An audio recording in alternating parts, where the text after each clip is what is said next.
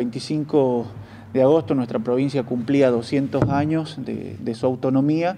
y recibimos la visita del presidente Alberto Fernández donde sorpresivamente nos encontramos con un acto netamente partidario del Frente de Todos, con un discurso proselitista eh, casi en, en su 100%, y fue en ese momento en donde nosotros decidimos dejar de ser parte de, ese acto institucional, oficial del gobierno de la provincia, incluso con militantes del oficialismo atrás de las vallas cantando la marcha peronista. No nos sorprende porque del kirchnerismo y del peronismo la falta de respeto a las instituciones es permanente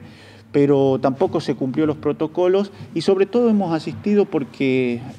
nueve días atrás, más precisamente el 17 de agosto, hemos presentado un pedido de informe por el decreto que establecía un fondo especial para los festejos del Bicentenario de, nuestra autonomía de 10 millones de pesos. Ese acto ha costado 10 millones de pesos a los catamarqueños. Entonces también asistimos a ver si realmente eh, se, demandaba la cantidad de dinero para, para, esa, para ese festejo. Y la verdad que mm, sorpresivamente también eh, nada de, de eso creo que haya costado, al contrario.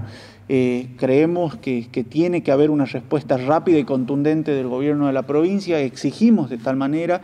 el proyecto está presentado en la Cámara desde el 17 de agosto, todavía no ha tomado estado parlamentario porque también eh, estamos a merced del oficialismo de turno que tiene mayoría y no quiere sesionar en la legislatura de nuestra provincia, por eso no ha tomado estado parlamentario, pero eh, esperamos que el gobierno le cuente a los catamarqueños o por lo menos nos dé respuesta de en qué se ha gastado esos 10 millones de pesos que se estableció a través de un decreto para un fondo especial para la autonomía de nuestra provincia. ¿Cuáles son los pasos a seguir después de la presentación de este pedido de informe? Bueno, tiene que, tomar,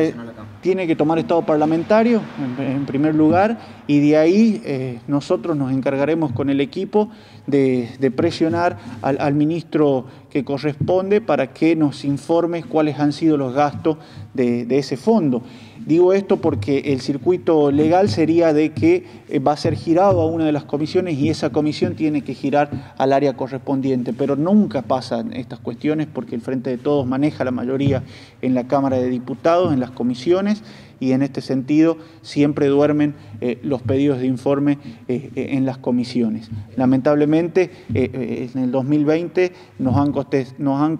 contestado un pedido de informe de los 90 que hicimos desde el bloque de oposición. ¿El pedido de informe va dirigido a algún organismo en particular, teniendo en cuenta que se creó una comisión para, para el acto de la autonomía? Va dirigido directamente al ministro de Gobierno y al gobernador Raúl Jalín.